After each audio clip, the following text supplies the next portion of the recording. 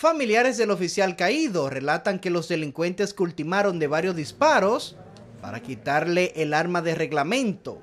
Atribuyen el horrendo crimen a la falta de seguridad ciudadana que viven los dominicanos en el país. Bueno, según yo tengo conocimiento, él estaba ayudándole a un amigo de él a arreglar la puerta de un carro, estaba recotado de la pared del colegio de Los Ángeles, custodio, y llegaron dos jóvenes en un motor y le dispararon. Le, primero le dieron un tiro ahí en el corazón, él cayó y después le dieron cuatro tiros más, o sea que fueron cinco.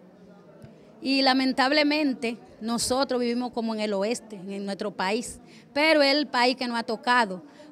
Expresaron que su pariente, el primer teniente del ejército de la República Dominicana, Gregorio Félix Batista, de 47 años, con 24 años de servicio, dejó una familia de dos hijos y su esposa destrozados destrozado. Ese es el problema de este país cada día.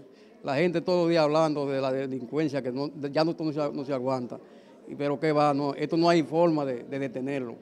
Externaron que las autoridades tienen que aplicarle la máxima pena a los asesinos del militar que solo se dedicaba a mantener a sus hijos y esposa porque las autoridades, lamentablemente, de nuestro país nada más están en, en, en direte, en ir, ir a tener un cargo para llenarse su bolsillo. Para AN7, Logan Jiménez.